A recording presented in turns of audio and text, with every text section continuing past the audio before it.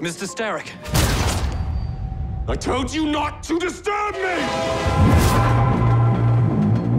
What have we here? Crawford Starrick's full organisation, seven henchmen, each controlling the pillars of London society.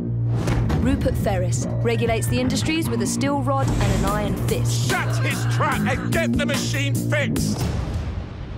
Pearl Attaway owns all transportation in London, the ebb and flow of the city's traffic at her fingertips.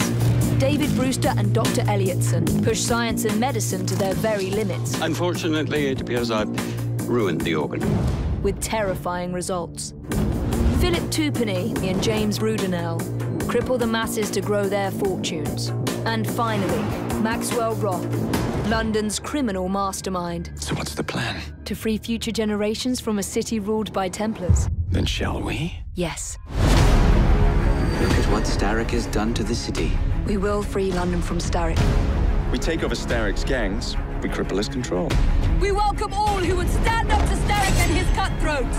As of this moment, you all work for us. I'm here to see Mr. Roth. Weapons? No, thank you. I've got my own.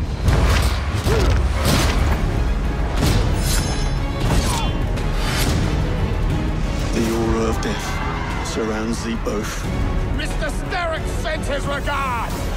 You're a child who believes he can solve all the world's woes with a flick of a blade. We're not playing games anymore, Roth! Did you accomplish, boy? You will not stop, Starrick. Our city will die. Once more for old time's sake? And then we're finished. Agreed. Have fun. Don't die.